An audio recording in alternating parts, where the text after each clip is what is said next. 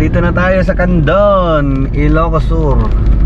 Guys, papunta kami sa gilid ng dagat ng Candon. Dito sa Ilocos Sur. Tingnan namin kung may matutulugan kami doon. Dito lang uli kami matutulog sa kotse. Hamper in the car.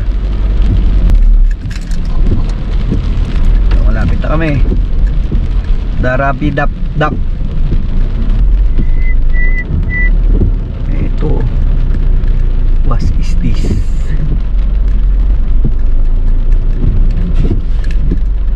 One hour later.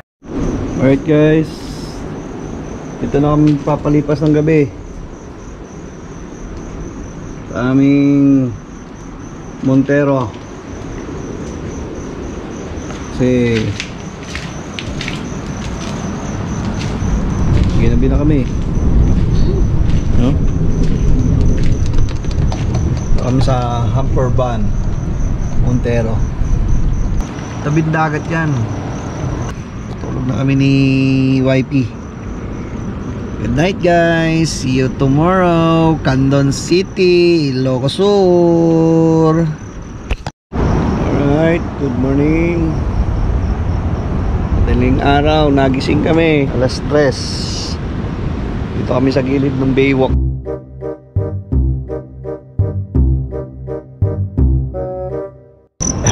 Makain kami yung breakfast. Kami naghapunan. Kumain lang kaming goto.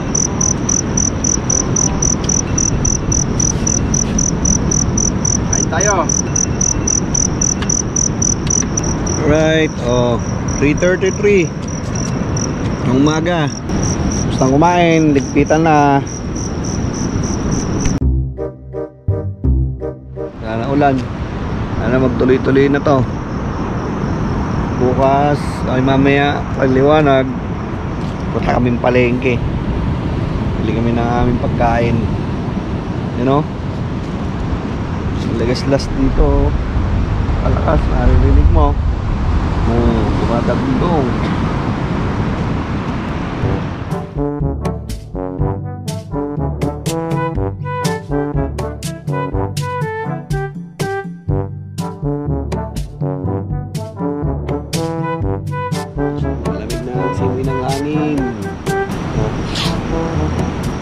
Ganda ng ilaw oh. Eh.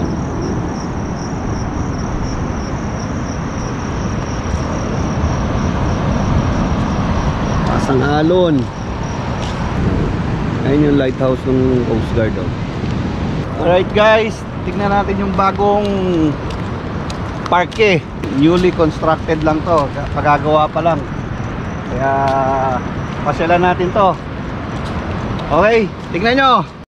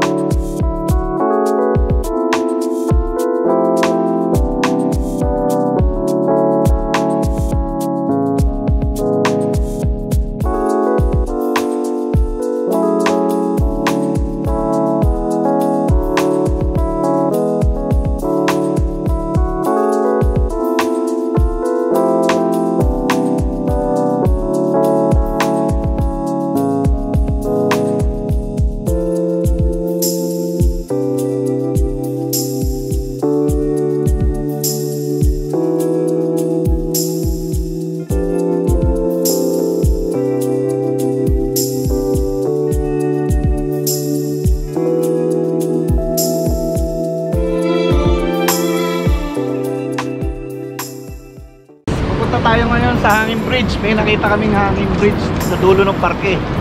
Na isa sa pasyalan. Dito sa Baywalk. Long Hanging Bridge siya. Pasyalan natin. Tara, let's go!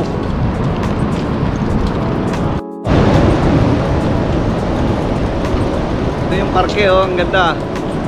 Newly developed lang yan.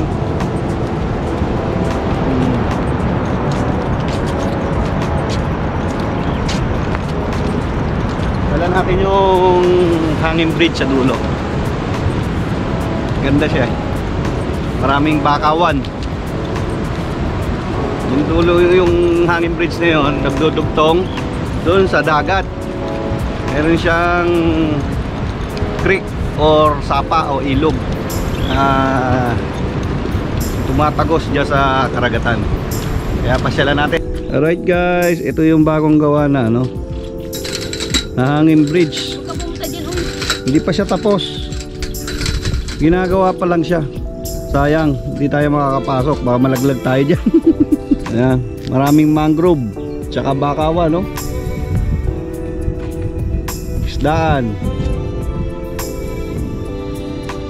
Hindi pa siya dinadaan. Hindi pa siya nadadaanan. Hindi kami nakapasok sa hanging bridge. Bago pa lang pala siyang ginagawa. Ni Ngayon pa lang siya lalagyan ng mga tapakan. Kaya hindi namin siya nalakaran. Mahaba siya. Tapos may mga mangrove pa siyang nakatanim sa may baba. Saka isdaan ng mga residente rito.